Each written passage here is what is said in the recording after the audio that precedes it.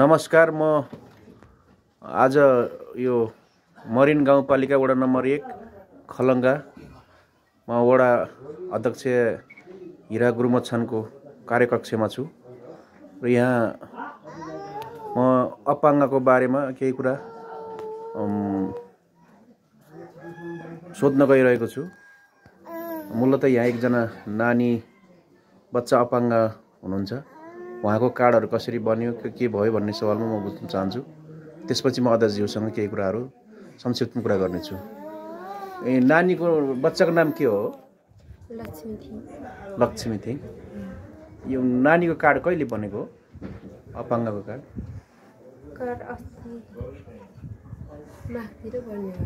माघमा? कति वर्षको भयो नानी? लक्ष्मी। साउनमा तिन वर्ष अनि तपाईँले कार्ड पहिला किन बनाउनु भएन? कार्ड बनाउन खोजेको पाँच वर्ष नपुगी कार्ड बनिन्न भयो। ए पाँच वर्ष नपुगेर? अनि अहिले तिन वर्षमै बन्यो? अहिले त कता कता मिटिङ राख्ने गरेर बल्ल बल्ल अनि किन पहिला पाँच वर्षमा बन्नुपर्ने कार्ड तिन वर्षमा कसरी बन्यो? कस कसले बनायो त्यो? कसरी बन्यो? त्यो माथिबाट सरहरू आइपुगेर अनि उनीहरूले कुरा राखेर। माथिबाट भन्नाले? काठमाडौँबाट। खड्क सारू सरहरू आउनु भएको थियो? निडाको अध्यक्ष हुनुहुन्छ उहाँ होइन? उहाँ आउनु भएको थियो। आएपछि बनेको हो। ए अनि भत्ताको लागि कुन कार्ड नानीले क ख कुन श्रेणीको कार्ड कार्ड पाएको छ? क नम्बरकै पाएको छु।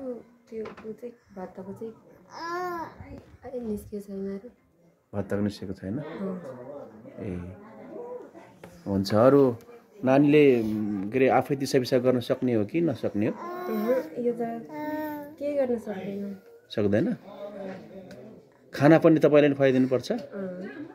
दिसा पिसाब गर्ने पनि सक्दैन खाना पनि सक्दैन है। अनि उसले मान्छेलाई चिन्छ? कसैले चिन्दैन है। यो जन्मजात नै हो कि?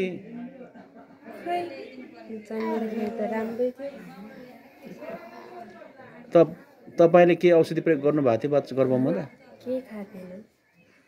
ए ल हुन्छ हस्। अध्यक्षज्यू नमस्कार। नमस्कार यहाँलाई पनि स्वागत छ। हजुर यहाँलाई मेरो कार्यकक्षमा हजुर।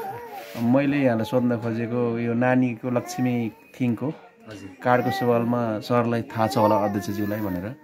त्यसको अँ, बारेमा विस्तृत भनिदिनुहोस् न। उहाँले अलि अगाडि पनि मेरो नानी अलि अपाङ्ग अस्वस्थ छ। यसलाई कार्ड दिलाउनको लागि के गर्नुपर्छ भनेर मसँग कुरा राखिरहनु भएको थियो। अनि हामीले यो यहाँबाट अपाङ्गता पहिचान गर्नको निमित्त सिफारिस दिएर पठायौँ सिफारिस गरेर पठायौँ। अनि पालिका स्तरीय एउटा समिति हुन्छ। हजुर। कार्ड वितरण गर्ने समिति जसमा डाक्टर कपिलाकोट पिएचसीको डाक्टर एमबिबिएस उत्तीर्ण डाक्टर पनि हुन्छ। हुने हुँदा डाक्टर साहेबले चाहिँ अब अहिले भर्खरै दुई वर्ष भएको छ। उहाँको स्तर विकास हुनै बाँकी छ। त्यो कारणले अहिले तत्कालै नहतारौँ भन्ने खालको त्यो मिटिङमा त्यो खालको निष्कर्ष भएछ। हजुर। म चाहिँ त्यो समितिमा पर्दैन। त्यस कारणले अनि पछिल्लो चरणमा निडाको अध्यक्षज्यू हाम्रो खड्क सारू मगर हजुर। सरहरू आइपुग्नु भएको थियो। जसमा कार्यक्रम पनि म आफैले हजुर।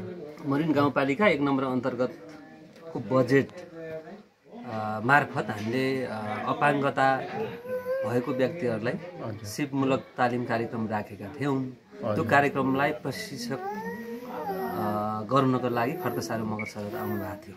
र अनि त्यही बिचमा पालिका स्तरीय पनि हाम्रो भेटघाट भयो। र। त्यहाँ पनि एउटा खालको चाहिँ छलफल भयो अन्तर्क्रिया भयो ठुलो बहस भयो। त्यस पछाडि एउटा निष्कर्षमा हामी के केमा पुग्यौँ त भन्दा अहिले हामीले यो नानीलाई कार्ड दिनुपर्छ। कार्ड दिनुपर्छ।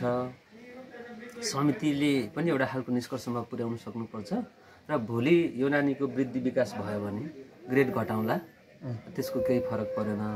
अब वर्षै पछि नसके पनि हामी तिन वर्ष वा पाँच वर्षको पिरियडमा हामी अपाङ्गहरूको पहिचान फेरि गर्छौँ। रि रि चाहिँ चेक गर्छौँ। सुधार भएको छ सुधार भएको छ कि अझ गम्भीर भएको छ? पत्ता त लाउनु पर्यो। हजुर हजुर। भन्ने निष्कर्षमा पुगेर। अनि पछिल्लो एउटा बैठक ठ्याक्कै समितिकै बैठकमा मलाई पनि खबर गर्नुभयो। हजुर। अनि समितिको चाहिँ संयोजक चाहिँ पालिकाको उपाध्यक्षजी हुनुहुन्छ होइन? हजुर। अनि मलाई पनि खबर गर्नुभएपछि म पनि गएँ। अनि हाम्रो निष्कर्ष चाहिँ अहिले काट दिनुपर्छ। र पछि क्षमता वृद्धि विकास भयो भने हामीले चाहिँ ग्रेड घट्यो भने घटाउनु पा पर्ने अवस्था भयो भने त झन् राम्रो भयो। अहिले चाहिँ दिनुपर्छ। हजुर। भन्ने निष्कर्षमा पुग्यो अनि हामीले त्यो ए को दिनु भएको छ अहिले। अनि अध्यक्षज्यू अब नानी लक्ष्मीले अब कहिले पाउँछन् पाउँछिन् उनले उहाँले भत्ताको लागि अब चाहिँ निवेदन दिनुभएको छ। हजुर। अब मरिन गाउँपालिकाले तेस्रो त्रैमासिक भत्ता बाँड्ने डेट लगभग लगभग नजिकै छ हजुर। त्यो बेलासम्म उहाँको चाहिँ क्युआइसी फर्म हजुर। आइपुग्छ वडामा अनि त्यस पछाडि उहाँले त्यो फर्म अपडेट गराएर खाता खोल्नुहुन्छ। खाता खोल्ने बित्तिकै सँगसँगै उहाँले एक महिना डेढ महिना कतिको पाउनुहुन्छ? हजुर। त्यो भत्ता पाउनुहुन्छ। यस त्यस पछाडि कन्टिन्यू हुन्छ। ए हुन्छ अध्यक्षज्यू धन्यवाद हस् थ्याङ्क यू